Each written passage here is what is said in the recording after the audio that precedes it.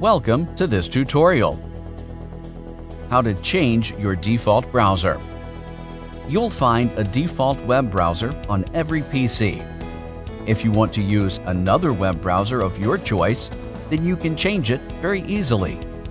Just follow the steps as shown in this video to change your default browser. Click on the Start Windows icon at the left bottom of the taskbar click on the Settings from the drop-down list. In the Settings window, click on the Apps option. Click on the Default Apps on the left panel. Scroll down the page and under the Web Browser option, click on the web browser name. Like here, it's showing Microsoft Edge web browser, so I'm clicking on it. This will open a list of installed programs window of Choose an App click on a browser name that you want to make it default. Like here, I'm clicking on this Google Chrome web browser. Similarly, you can replace any installed web browser with your default browser. Close the settings window.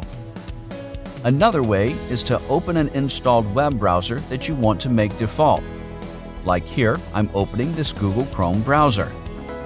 At the top right, click on the three dots menu click on the Settings from the drop-down list. In the Settings page, click on the default browser on the left side menu panel. On the default browser page, click on the Make Default button. This will open the settings window of default apps. Scroll down to the web browser and click on the browser name. Click on the Google Chrome browser name in the list of Choose an App. Close the Settings window and close the Google Chrome web browser window. This will make Google Chrome a default browser. Wasn't that easy? Have a nice day. Please subscribe to our channel.